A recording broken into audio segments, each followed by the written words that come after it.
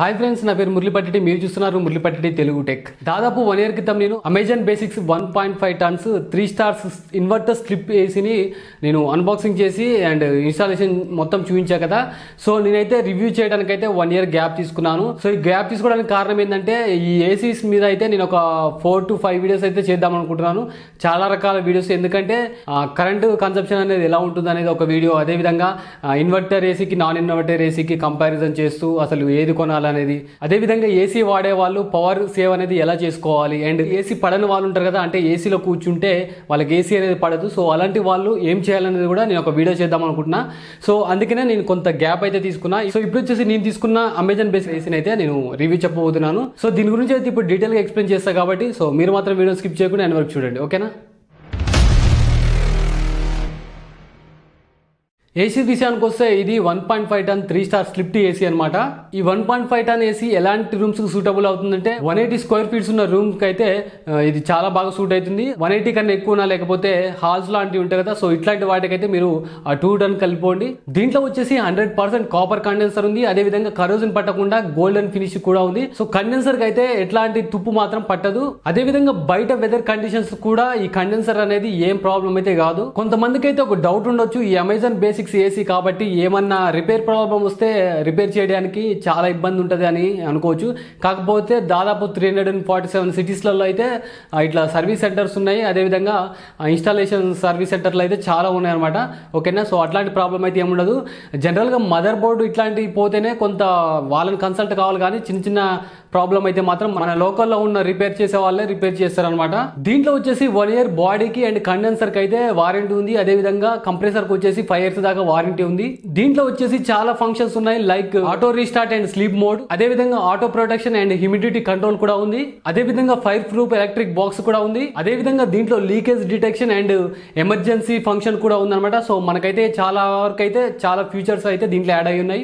ఈ ఏసీలో వచ్చేసి హై డెన్సిటీ ఫిల్టర్స్ ఉన్నాయన్నమాట. నార్మల్గా ఉన్న ఏసీలతో పోల్చుకుంటే ఇది ఎయిటీ పర్సెంట్ అయితే అధికంగా మీకైతే ఫిల్టర్ చేస్తుంది ఎయిర్ని. ఇది వచ్చేసి స్లిప్ట్ ఏసీ కాబట్టి దీంట్లో వచ్చేసి ఆటోమేటిక్ స్వింగ్ మోడ్ అయితే ఉంది. దీంట్లో చెప్పుకునే దగ్గర ఇంకొక మంచి ఫ్యూచర్ ఏంటంటే ఎకో మోడ్ అనమాట ఈ ఎకో మోడ్ ఎలా వర్క్ చేస్తుందంటే మీరు నైన్ లేదా టెన్కి పడుకున్నారు అనుకోండి సో మీరు ట్వంటీ ఫోర్ పెట్టి పడుకున్నారనుకోండి అంటే ఎకో మోడ్ ఆన్ చేయగానే అది ట్వంటీ ఫోర్కి అయితే వెళ్తుంది. సో ఎకో మోడ్ పెట్టి పడుకోగానే అది వన్ అవర్ కోసారి టెంపరేచర్ అనేది పెరుగుతుంది అనమాట ఎట్లా పెరుగుతుందంటే సో మీరు ఎకో మోడ్ ఆన్ చేయగానే ట్వంటీ ఫోర్కి వస్తుంది కదా. సో నెక్స్ట్ అంటే టెన్కి పడుకున్నారు అనుకోండి లెవెన్కి వచ్చేసరికి కరెక్ట్గా అది ట్వంటీ ఫైవ్కి వెళ్తుంది. సో తర్వాత ట్వెల్వ్కి వెళ్ళేసరికి అదైతే ఇంకో పాయింట్ పెరుగుతుంది అనమాట సో ఇలా థర్టీ దగ్గరికి వచ్చేసి ఆ థర్టీ మీద అయితే రన్ అవుతుంది అనమాట సో ఇలా ఎక్కువ మోడ్ పెట్టుకోవడం వల్ల చాలా పవర్ సేవ్ అవుతుంది. సో ఇది ఒక మంచి ఫ్యూచర్ అనేది చెప్పుకోవాలి. దీంట్లో ఇంకోటి చెప్పుకోదగ్గ విషయం ఏంటంటే దీంట్లో ఆటో ప్రొటెక్షన్ ఉండడం వల్ల ఏమైనా పార్ట్స్ డ్యామేజ్ అయినా లేకపోతే ఏదైనా అనివార్య కారణాల వల్ల ఏదైనా ప్రాబ్లం వచ్చినా ఇంటర్నల్గా అంటే బయట అవుట్డోర్ మిషన్ ఉంటుంది కదా సో దాంట్లో ఏమైనా ప్రాబ్లం వస్తే ఆటోమేటిక్గా ఇదైతే టర్న్ ఆఫ్ అవుతుంది. అలా ఆఫ్ అయినప్పుడు మీకు ఇండోర్ యూనిట్ అయితే ఎర్రర్ అనేది కనిపిస్తుంది ఓకేనా? అదే విధంగా ఇంకొకటి చెప్పుకోదలుచుకుంది ఏంటంటే బయట ఎండ ఫిఫ్టీ టూ డిగ్రీస్ ఉన్నా కూడా మీకైతే రూమ్ అయితే కూల్ చేయగలదు అనమాట జనరల్గా అయితే మనకైతే అంత సీన్ లేదు. ఫిఫ్టీ టూ డిగ్రీస్ అంటే అంత సీన్ అయితే లేదు. సో బయట అంత ఎండ ఉన్నా కూడా లోపల రూమ్ అయితే కూల్ చేసే కెపాసిటీ అయితే దీనికి ఉంది. అదే విధంగా ఇది ఇన్వర్టర్ ఏసీ కాబట్టి మీ ఇంట్లో వోల్టేజ్ అనేది ఎక్కువ తక్కువ అయినా కూడా ఇది అడ్జస్ట్ అవుతుంది.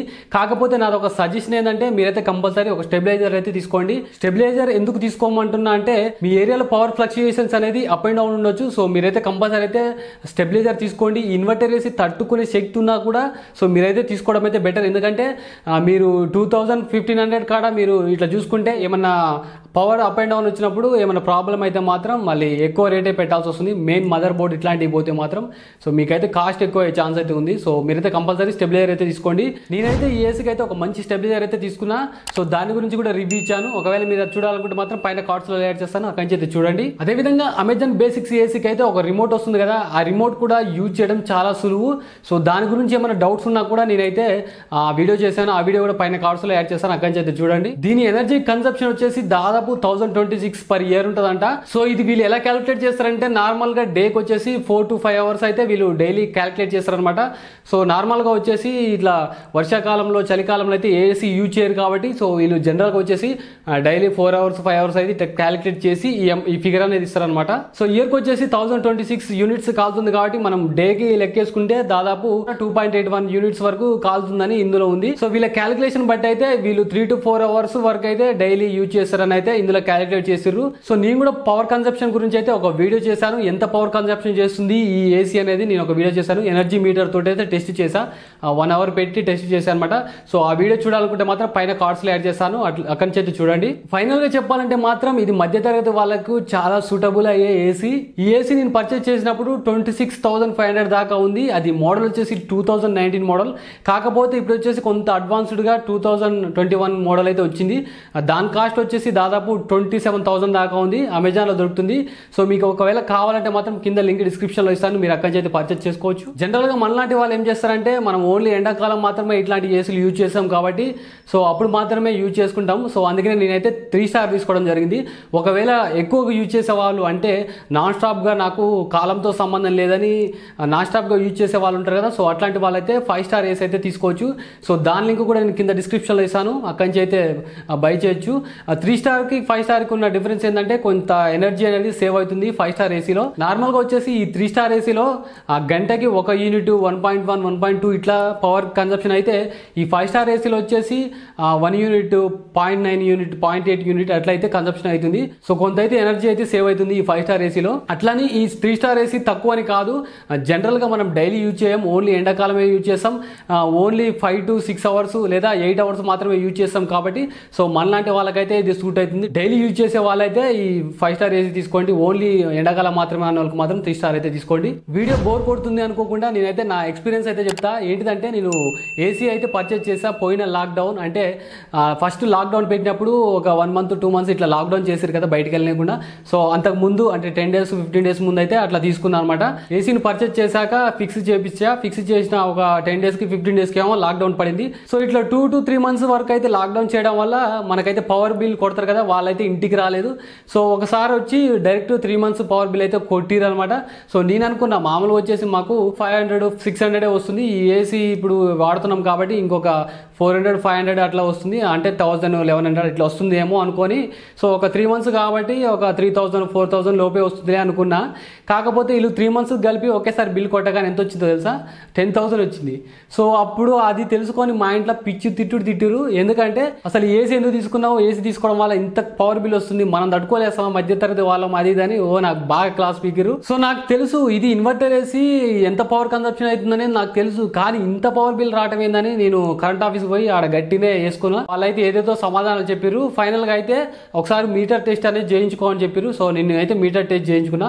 మీటర్ టెస్ట్ చేసుకున్నాక అర్థమైంది అప్పుడు ఫాల్ట్ ఏసీ ఇది కాదు మీటర్ అని అర్థమైంది. ప్రజెంట్ వచ్చేసి ఇప్పుడు చూసుకుంటే కరెంట్ బిల్ వచ్చేసి మాకు థౌసండ్ లోపే వచ్చింది.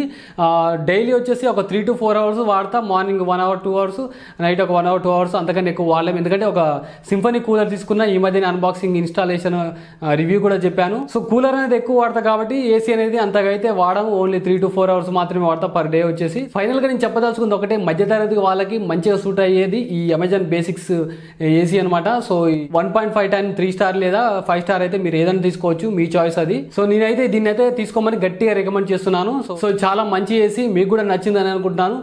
సో ఈ ఏసీ గురించి ఏమైనా డౌట్స్ ఉంటే మాత్రం మీరు కింద కామెంట్ సెక్షన్లో కామెంట్ చేయండి అక్కడి నుంచి అయితే రిప్లై ఇస్తాను.